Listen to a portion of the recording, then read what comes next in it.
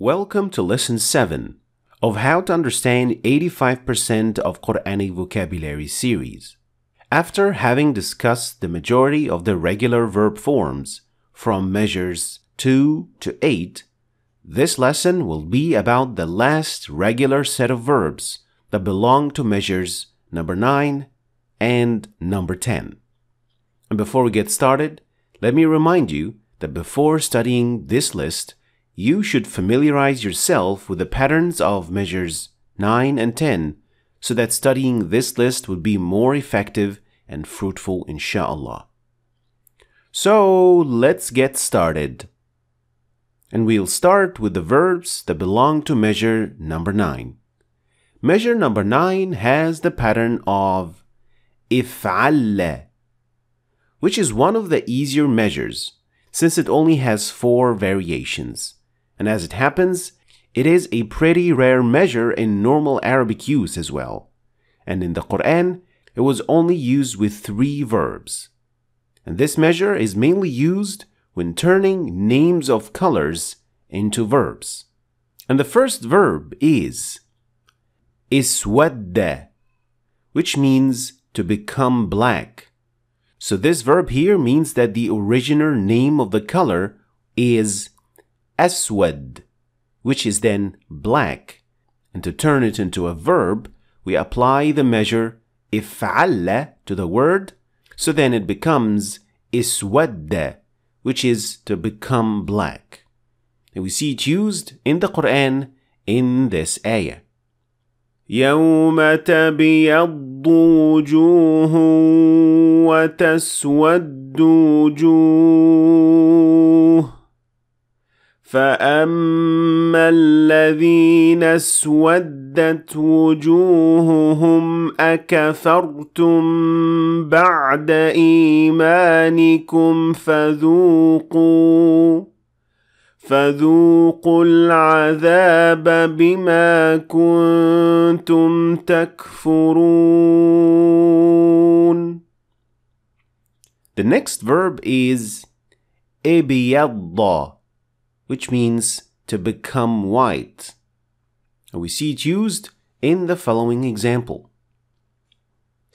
وتولى عنهم وقال يا اسفا على يوسف وابيضت عيناه من الحزن فهو كظيم And the last verb that belongs to this measure is إخضر, which means to become green. And this verb was used only one time in the Quran, and it was used in this example. ألم تر أن الله أنزل من السماء ماء فتصبح الأرض مخضرة إن الله لطيف خبير Moving on to the final measure, which is measure number 10. This measure uses the pattern istaf'ala. And the first verb is ista'jala, which means to be impatient or to urge impatiently. And we see it used in this example. قل ارايتم ان اتاكم عذابه بياتا أو نهارا ماذا يستعجل منه المجرمون One more example. قل لو ان عندي ما تستعجلون به لقضي الامر بيني وبينكم والله اعلم بالظالمين Next is استغفر, which means to seek forgiveness. And if you want to learn more about the deeper meaning of the word istaghfara, and how to do it properly, you can check out this lesson. It is quite useful. And we see the word istaghfara with this meaning in the following example. وما كان الله ليعذبهم وانت فيهم وما كان الله معذبهم وهم يستغفرون Next is istakbara, which means to be arrogant, like in this example. والذين كذبوا باياتنا واستكبروا عنها اولئك اصحاب النار The next verb is istahza'a, which means to mock or to ridicule. And we see it used in this example.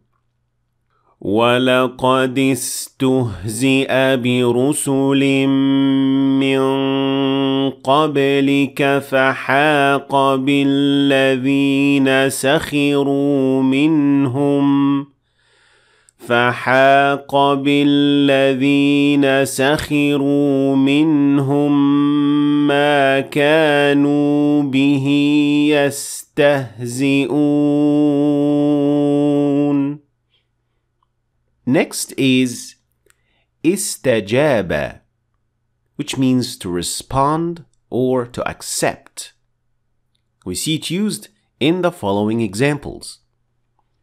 يا ايها الذين امنوا استجيبوا لله وللرسول اذا دعاكم لما يحييكم Next example. إنما يستجيب الذين يسمعون والموتى يبعثهم الله ثم إليه يرجعون Next is istata'a, which means to be able to. We see it used in the following example. ولو نشاء لمسخناهم على مكانتهم فما استطاعوا فما استطاعوا مضيا ولا يرجعون And finally is the verb istaqama, which means to be on the right path. We see it used in these examples. اهدنا الصراط المستقيم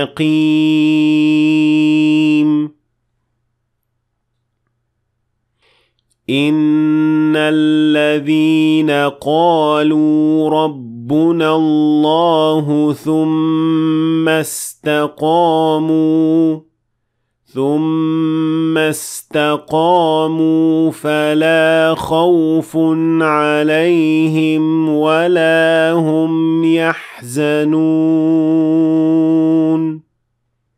And finally, don't forget to check out the description. For the PDF file of this lesson as well as the printable version for the same list.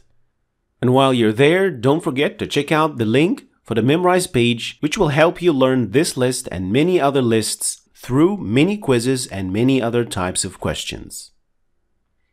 Thanks for watching. I hope you've learned something new today. If you did, please like and share the video for other people to learn from it. And don't forget to subscribe to our channel if you want to see more videos like this. Thanks for watching and I'll see you in lesson 8.